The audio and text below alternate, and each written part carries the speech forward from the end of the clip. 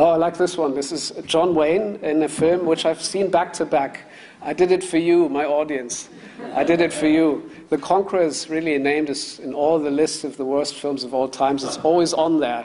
And if you see it, you see why. He plays Genghis Khan. Okay, so he, uh, John Wayne plays Genghis Khan. And they shot all of it in Snow Canyon in Utah.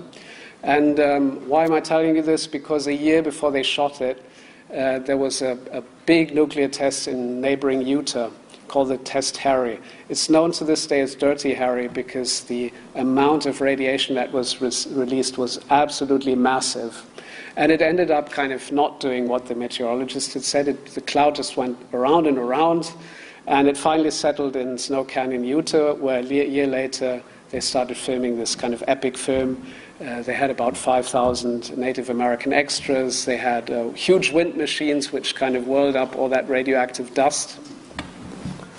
And uh, after they'd finished filming, about 60 tons of uh, that sand was moved to the studio to shoot the close ups. Uh, in, in 1980, someone counted, um, and of, of 210 cast and crew, 91 had developed cancer and 46 had died, including John Wayne, Susan Hayward, who was the female lead, and Dick Powell, who was the director. Now, the source of this is People magazine, so this is not a scientific source. There was no control group. Um, we don't know effectively if you know one would have to look, study this scientifically. I put it in the book because um, the effect we know it had was uh, the producer of the film was Howard Hughes, who was a very, very eccentric uh, billionaire uh, who lived in Las Vegas, and he, he must have been freaked out by this, and he was. Um, uh, and he he, he was someone who lived very close by the testing range. Las Vegas is not far away from the Nevada testing range.